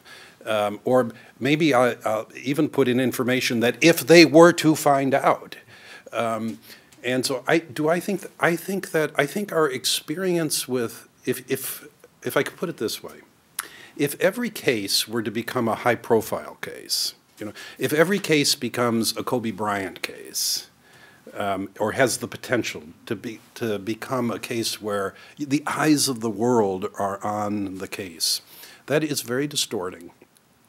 It it it changes how people behave um, and it, it, it looms over the litigation, and it can distort the outcome. So I would say that is a true concern, really quite a true concern. I think most things that have to do with, you know, judicial control over the litigation, let us say, those tend to be overstated. Uh, there, there was a lot of consternation simply in, in, the- the, you, you will, this will resonate with you, having been on a law faculty. You get a lot of crazy talk about how this will hurt or help different kinds of people depending on how uh, tech, technologically savvy they are. So when, when we went to CMECF, you would think that, gee, this is great for solo practitioners um, because they don't have to drive down to the courthouse anymore. And in a district like mine in, in Eastern California, you might be five hours from the courthouse. We thought we were making the system so much more accessible, particularly to small firms and to people without the resources, but they didn't see it that way. They, they saw this as, this is going to benefit the big national firms because they'll understand how to do this. And little old me, you know, I'm still writing with a quill. And uh, just sort of like we have some professors who still use yellow pad and that sort of thing. Look, I brought a yellow pad. But, uh, you know, have, all, have their email printed out by somebody and then read back to them. Uh, and, you know, you sort of, you go through these little sort of, I, I call them kerfuffles, you know, it's a slight um, disturbance of the force, but it's only slight. So I, I think the, the technological problems turn out to be overstated. Uh, the question of control turns out to be overstated. I don't think these privacy concerns are overstated, not, not at all. And, and, I, and I do fear the distorting effect. I think we see that a lot in litigation. Um, it depends on the litigation. Um, and I think that uh, the people that are going to mine this data are, are not by and large going to be people like uh, Carl and public interest groups. They are going to be commercial groups. Um, I don't know if you agree with that or not, but I think we are al- already seeing this. You know, it's, it's the credit card companies. They, they really want to get into those bankruptcy files. Uh, they want to create, you know, better databases on, on people who uh, have filed in the bankruptcy system, their commercial uses. And, and that's where a lot of this pressure is coming from. Other questions? Yes, sir. I, I want to follow up on that a little bit for not for lawyers but for the public, um, because I, what you said at the very beginning about about the information is out there, but it's not really very accessible, and and some in in some of this research that I've looked at would say that that is a conscious barrier to public access to some of these records, and I'm wondering if there's any discussion about improving. The, and, and you touched on The website, bit, is the that what you meant? websites and Yeah. the search mechanisms and, and the ways so so that not just lawyers who feel uncomfortable with it, but the public can have better access to it. Is there any conversation about Yes, that at all? There is. And, and this is so much better now. I, I, I have to tell you, when I started as a judge in the, in the 1990s, you could go into a courthouse and you wouldn't, the judges couldn't even tell you what, where to find a copy of the local rules or where the standing orders were for the court. And it was like, um, you know, you were just kind of waiting for uh, the anvil to fall on your head. It was like, oh my goodness, you know, you, you, you now found out that you violated some rule that you didn't, it wasn't easy to find out about. There was just maybe somebody in the clerk's office who knew about it. And, and all of that is now available. It's just, the websites need to be upgraded. I, I think that's true. And, uh, and there's talk about, um, I, I, th- there's going to be another iteration of electronic case filing. And when that happens in the next few years, apparently all the websites are going to be upgraded and they'll be, the opinions will be searchable. And uh, you'll see, I think, a huge increase in functionality and accessibility. But I don't know that there's any plan, if this is what you're asking, is to aggregate all of the opinions. So in other words, so that you wouldn't have to know which district the opinion was in, for example, or which judge. Um, That, I, I, I don't know if there are plans for that, although I, I imagine that that could easily be done now. Maybe you've already done it. Um, I believe the law librarian of Congress is investigating the possibility of aggregating material, and I think that's one reason the law library is participating in, in the law.gov process. And, and, and, and I think that would be wonderful. I think that'd be great. I, I see no problem. Aggregating all the opinions of district judges and bankruptcy judges, magistrate judges, and appellate judges, I, I think a lot of lawyers will feel like, oh my goodness, there's a, a lot of stuff to look at. And there is a, is something of a downside to that. It can, uh, it can increase the cost of litigation, but I think the benefits are clear. Yes. Uh, You mentioned reporters getting access to courthouses. The News and Observer has gone from 260 reporters to 100 uh, people in the newsroom in the last four years. when I asked the editor things that he wasn't able to cover anymore, the Durham court reporter for the News and Observer, that's, that was one of the beats that was eliminated. So a question like, um, how do judges in that courthouse treat gun crimes? Um, that's very hard right now for interest groups in Durham to examine. Would you um, be in favor of getting as much information as possible so that uh, in a low-cost way you could actually hold judges accountable? Yeah, I don't know that, um, that the data would necessarily permit you to do that, but, but if you're, um, asking, would I, would I, it, it- again, it requires aggregation. And if that can be done, um, you know, you have to, you have to decide how important it is and who's gonna pay for it. Uh, you know, the courts, uh, it, no, no judge can do that, can't sit there and say, well, I'm just, you know, I've got this job of deciding cases, but in the night, I will be a data aggregator. And there aren't, you know, Congress decides and appropriates, and, and if they, if they appropriate uh, monies for the administrative office of U.S. courts to aggregate that data, then I, I, I would think that would be fine. Now, you, the, the Sentencing Commission does some of this already on the, on the federal level. And, and, and there's an argument on the, on the other side for not doing it that you'll, you'll hear from judges. Um, so that if you, if you were to, if you said, I want to see how Judge Levi sentenced in gun cases over the past 10 years, uh, and publish that. Um, Some judges would say, on the whole, that's going to be distorting. Uh, You know, that'll be, you'll, you'll, you'll end up with distorted information because my cases are assigned to me randomly. I, you know, I, I don't know how long a judge, you'd- how long a time you'd have to be on the court to know whether you're, you're getting a true random selection or whether that, that they've been skewed in one way or another. And that you don't want to put pressure on judges in particular cases to, to, if they say, gee, you know, the public's keeping a scorecard on me in, so for, for a state court judge, in, in gun cases, and they want to see that I'm a stern sentencer in some parts of the country or a lenient sentencer in, in other parts of the country, uh, that distorts the process. That's one of these areas where, um, if, where you, if you have an elected judiciary, you're, you're starting to put pressure on your, your judicial officers in that way, and you might not want to do that. I mean, it may happen anyway, maybe it's just the way of the world, and we shouldn't have elected judicial officers, and I, I'm in favor of that as well. So I, I, I would say, if you're not going to have an elected judiciary, then, and, like the federal system, and if you have the federal system, the more data that's out there, I think, you know, the judges can take it. They, they can. They're, they're not going to be impeached because somebody thinks they were too lenient or not lenient enough, at least I hope not. Thank you. Yeah, thank you. Carl Howard. Wow, those were good presentations. Uh, Dean Levi, thank you very much. Uh, Dean Danner, that was very, very useful. Um, I want to thank Professor Boyle and Professor Jenkins for putting together this workshop. It's one of a dozen around the country that we're doing. Uh, Law.gov is about primary legal materials. And there is no concrete definition of what that means. It's, it's a cloud. There's a core and there's some edges. Um, if you look at the laws of the United States Congress, for example, those are clearly primary legal materials. But if you're a lawyer and you go to court and you're arguing about what a law really means, you need access to congressional hearings. And those are clearly of importance in the practice of law and importance for a wide variety of, of professions. And so the laws are primary legal materials, but if you go to the state of Oklahoma and want to make a copy of the Oklahoma statutes, um, that will cost you $25,000 for a license to put it up on your website, which is fairly pricey.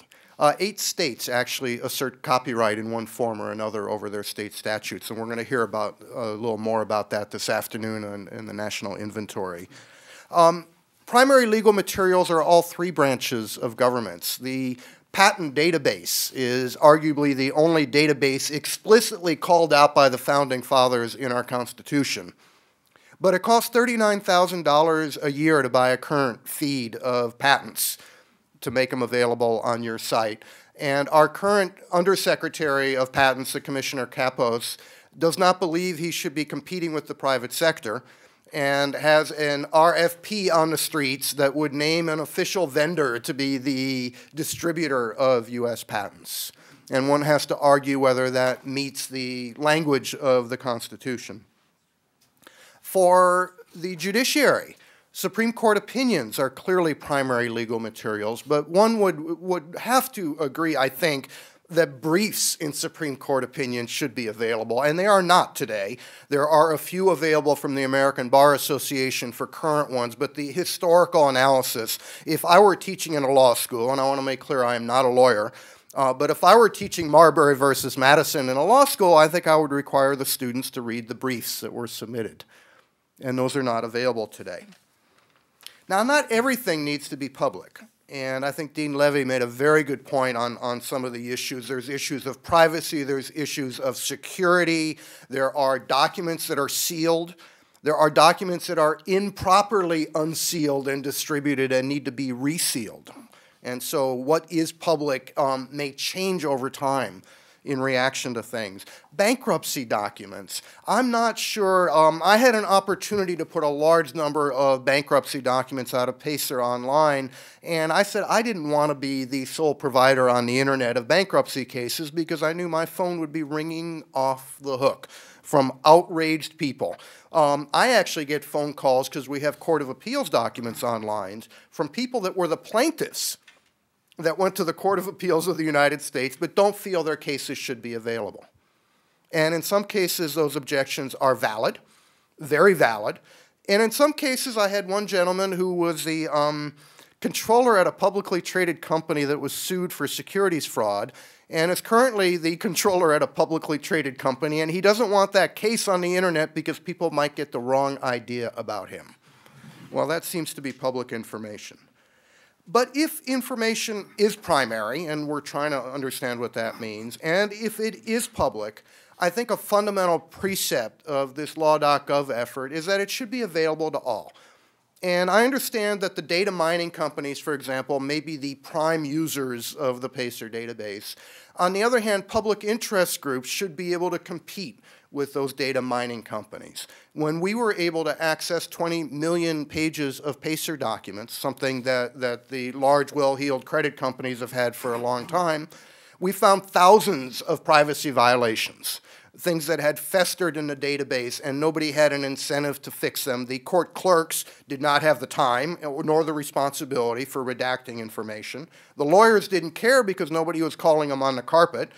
And for Lexis and West and the credit card companies, social security numbers were a feature and not a bug because they used it for their products. And it's only when public interest groups got access to the material that we were able to send the Judicial Rules Committee a detailed audit. It went to 30 district courts, and as a result, they were able to change their policies. And so law.gov is based on a question can we make primary legal materials in the United States, all three branches, all levels of government, available in bulk from the source in an authenticated manner? And in today's day and age, one can, in fact, digitally sign documents. Now, that's not necessarily easy to do for a variety of reasons. Uh, for the archive, for example, authenticating and digitally signing prior documents that were on paper and are now scanned in is a difficult thing to do. And it's also difficult operationally doing this going forward for reasons such as privacy and improperly sealed and unsealed documents. So the basic principle is pretty simple. Now, I think there's three reasons that one needs to make these materials available. And those reasons are justice, democracy, and innovation, which are, are big words. Um, but I think they're real words. Justice there is a feeling out there that any practicing professional, anybody who's serious about the law, has access to the materials they need to do their job. I don't believe that's true. I know many solo practitioners who do not have access to the services they need. They simply can't afford them. And, and solo practitioners and small startup firms, the general counsel of Twitter was unable to justify access to the West database because it would have been by far the single largest line item on his budget, and he couldn't go to his boss and justify it. And this is by far the hottest startup on the internet right now awash in money. Now, maybe he was cheap and should have spent the money. Um, but I know a solo practitioner in northern Indiana, a good friend of mine, who as a hobby does pro bono work on water rights. He represents farmers whose streams get polluted by upstream manufacturers. And he cannot afford the services he needs, the specialized databases, because the surcharges are too high. Public interest lawyers, uh, legal defenders, many of them don't have access to the full deluxe legal packages. And that means people defending the poor don't have access to the same materials as people defending the rich. And that doesn't seem right. And there's one other category. Uh, my friend Tom Bruce runs the Cornell Legal Information Institute, which many of you may use, and they, have been a pioneer uh, from the beginning in putting legal information online. He says one of the most common calls he gets from somebody is people saying, I'm just a government lawyer in the Department of Interior, and we don't have access to this specialized section of the United States Code. Thank you so much for putting it online for us. I get similar calls from other folks. Department of Justice lawyers get memos from their bosses saying, We are over budget, please stop doing so much research. Democracy is another reason. We say we're a nation of laws, not a nation of men. Well, that means we write down the law. And if we don't write down the law and make it available, then that doesn't make sense. Now, it, it, 10 or 20 years ago, it made sense that you had to go to a library to access this kind of information. But in today's day and age, it is much more than lawyers that need access to the law. I had an argument with the Commissioner of Patents about whether the patent database should be available, and his argument was that it was the patent bar that needed patents because they were the only ones that read it. Well, every engineer in Silicon Valley needs to be able to read a patent because that's a fundamental part of, of their job. It's also a fundamental part of the patent database, which is there to promote the useful arts. Um, and if you don't make the patents available, what's the point in granting them? But I think the biggest reason is innovation. Today, if you want to be in the legal business, if you want to compete with West because you can do a better job on head notes or, or you can do a better Shepardizer, it will cost you anywhere from 10 to 50 million dollars to purchase a collection of legal material sufficient to be able to provide a new service. Companies such as Fastcase spend tens of thousands of dollars per month simply triple keying material, sending them to India, having them typed, and getting the digital version back. And what that means is that innovation has not come to the legal market. It's the last bastion of closed on the internet. If you look at science, if you look at finance, if you look at health, um, there has been a a huge amount of information and a huge amount of startups that have gone in and, and have changed the way those professions practice, sometimes for the better and sometimes for the worse. Um, but that, that innovation has been unavailable to the legal market. It's also unavailable to nonprofits and it's unavailable to the academy. And that's something that I think is really important. If you go um, to places like University of Michigan Law School, they have professors there and PhD students that, that have law degrees, but also very strong technical backgrounds that, given the opportunity to analyze the corpus, are able to find information like is there discrimination in civil rights cases in district courts? Does that vary across the country? Right? Um, is the idea of what a judge thinks is an important decision, is that different from what everybody else thinks is an important decision? And legal researchers are beginning to analyze the citation chain and, and build what are called big directed graphs to provide empirical evidence of which cases truly turned out to be important as opposed to the ones that the judges named. So how do you change something so fundamental as a $10 billion a year industry, which is what it, um, access to primary legal materials is in the United States? Uh, the way we are doing this is a national conversation. A series of workshops and working groups is phase one of this process. We began at Stanford Law School. Erica Wayne and Paul Lomio um, set up our first Law.gov workshop in January. Uh, we did a two-day technical workshop at Cornell that Tom Bruce hosted that had all the, the leading technical figures in, in the kind of free law um, world, as well as participants from LexisNexis and Fastcase and the government printing office. Um, and so there's been a strong participation from industry and government. Um, at Columbia Law School, for example, Tim Wu um, was the co-convener of the workshop there. We had the Deputy Chief Technology Officer of the United States, who does open government, Beth Noveck, sitting next to the Chief Technology Officer of LexisNexis, discussing how primary legal materials could become more broadly available. Um, we had a workshop in Colorado just recently in which a Supreme Court justice, the chair of the Judiciary Committee, and the Secretary of State all discussed what the situation was in Colorado. Uh, we had two former past presidents of the American Association of Law Libraries there discussing um, uh, things like the Uniform Commission um, and efforts to standardize laws across the different states. Uh, we have a few more of these workshops coming up. We're going to finish this process in June. Uh, Texas is going to be on Tuesday with Terry Martin, is the um, the interim uh, librarian down there. Um, also a past president of the AALL. Uh, we'll be discussing the situation in Texas, but we'll also be looking again at research applications of the corpus. If the data were more broadly available, what could one do? Um, we're going to be in Berkeley in a couple weeks. Uh, Professor Pam Samuelson is going to lead a session on intellectual property and the law.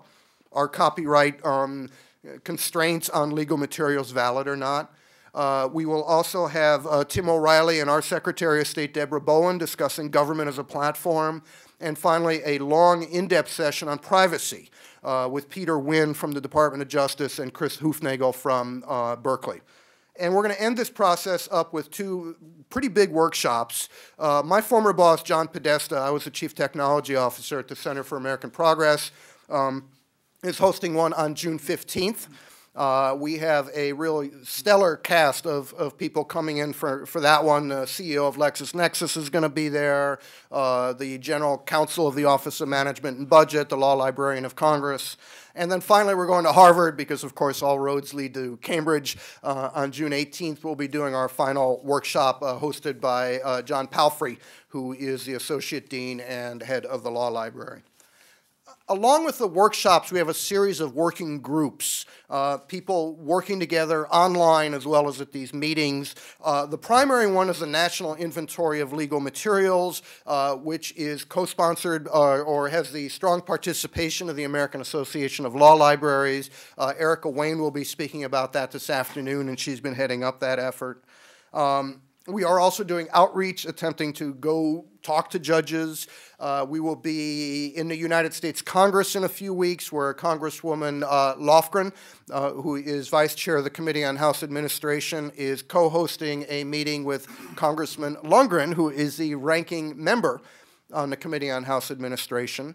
Uh, Roberta Schaefer will be there, but Eugene Meyer, the head of the Federalist Society, will be there. And I think the point of that event, it's a one hour event, is to show that this issue is very much a nonpartisan, bipartisan, across the aisle type of issue. This is not a bunch of lefties or a bunch of righties um, with a particular agenda. This goes beyond the partisan politics that we often see in Washington. So, phase one is the workshops. Phase two, we are attempting to distill what we're hearing and say, is there consensus on some things? Um, are there areas that are tough and there is no consensus? Um, and we will be issuing a report and a series of basic principles. For example, copyright assertions on primary legal materials. I think most people, or at least the ones we're hearing, are agreeing that that's probably not tenable, neither legally nor morally. And finally, we're going to go brief people and say, look, a national process has been underway. These are some of the conclusions. Uh, the United States Senate, uh, Senator Lieberman, who heads the e-government effort, has already asked for a copy of the report to be deposited to his committee. Uh, Chief Judge Kozinski has granted me five minutes to brief the Ninth Circuit, um, and so I will practice my, my five-minute summaries. Um, a variety of other chief judges have asked for private briefings. Uh, the White House is extremely engaged in this process and has asked to be kept up to date, um, has sent people to a variety of these uh, workshops. You'll notice that this afternoon we will have Andrew McLaughlin, the Deputy Chief Technology Officer, and uh, David Ferriero, who is the Archivist of the United States, participating in this process.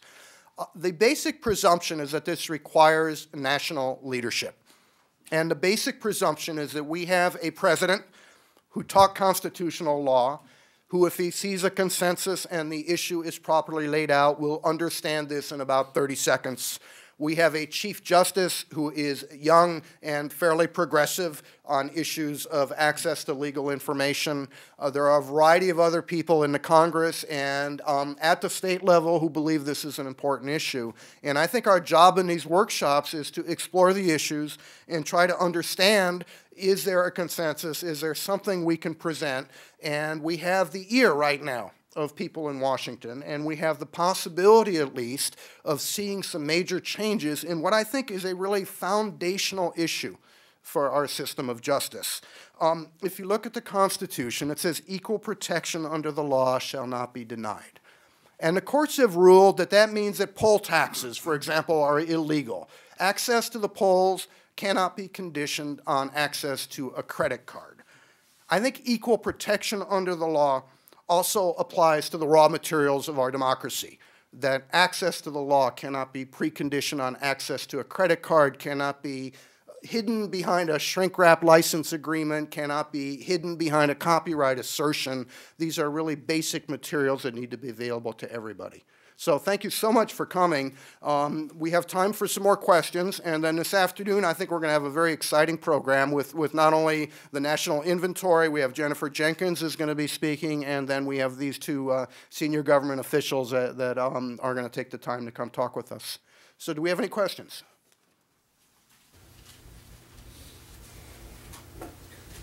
Carl, since it's such a great idea, um, leaving aside the issues that Dean Levi spoke about, um, what are the fundamental misunderstandings or miscommunications that prevent people, people who don't have some financial stake in the current system, from seeing what you're talking about? For example, when you were talking about the head of the patent office, Dave uh, Kappos, who's you know been very progressive on some other issues, you obviously disagree in the way that he's seeing it. He's seeing this as an access of the government competing with private industry, right? And sort of seen in that frame, this is you're undercut. The, the state is taking on something. This is like the public option for information, right? You know, which as we know didn't fly so well in healthcare. So, is that the problem? Is that the primary obstacle, or is it the set of things that Dean Levi talked about? What's what's the given all the reasons you gave us, both the big ones and the just common sense ones? What are the reasons that those who don't have a current economic stake are actually resisting this? Um, now, what's interesting about the current economic state is a lot of the people in the business, like LexisNexis and Fastcase, spend a tremendous amount of time sourcing private materials. It costs them a lot of money and so uh, there is a conception out there that industry would be 100% opposed to these efforts. But in reality, a lot of the more forward thinking business uh, folk are looking at this effort and saying this could be very good for us because we believe that we do things better than our competitors. But there is a feeling among many that this would be competing with the private sector, that we are somehow going to be nationalizing the law, and that that would be a bad thing. And so that, that's certainly one, one issue. There is the issue of this. I never, I never imagined that it was private to begin with. So. um, that there are so many problems in the database that it would be irresponsible to make this data available.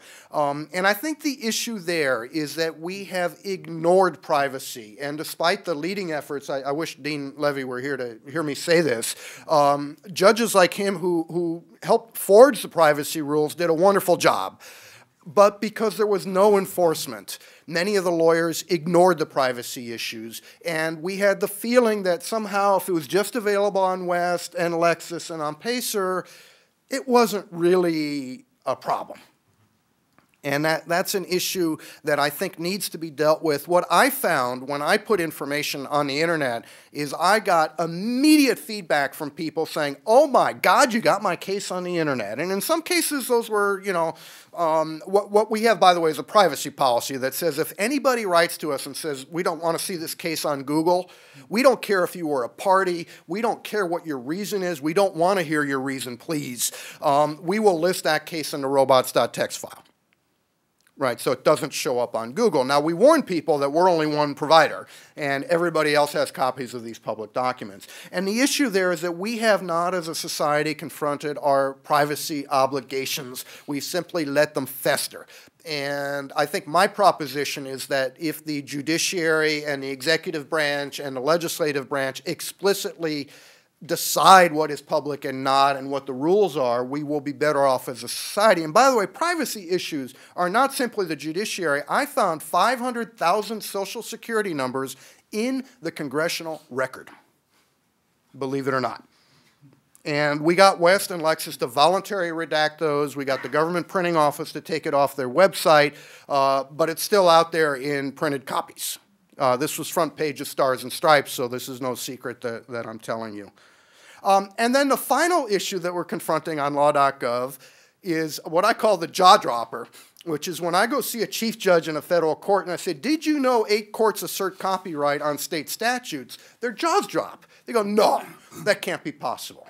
And, and I think there is um, a misunderstanding out there on the extent in which this public property has become private parcels, in which it has been fenced off. Uh, the state of California, for example, if you want to access final opinions of the courts, you have to go to a website, and before you can access that website, you agree that this is for non commercial use. You won't copy the stuff, you won't redistribute it. And if you wanted to make a copy of the California court opinions, you have to get a very, very expensive license. And I think a lot of policymakers, particularly in Washington, are just unaware of the extent to which our legal system has been, been turned into private property. So. Additional questions? Okay, I think we're just about at lunchtime. Do you have instructions for? Instructions for lunchtime. Jennifer. Indeed, lunch will be out of the store, outside of the store, so just make your way over there. You may eat in here. As um, Jamie Boyle mentioned at the beginning, um, students are still taking exams, and so congregating within the room and just around the room. So your choices are grab your stuff, come back in here, Or go outside. or go outside to the Star Commons or the beautiful weather. And we are reconvening at 1.30. 1.30. And um, for those of you who would like to get on the wireless network, um, the username and password will be available on the registration table just outside. Thank you. And please be quiet in the halls because we don't want law.gov to be the reason students fail their.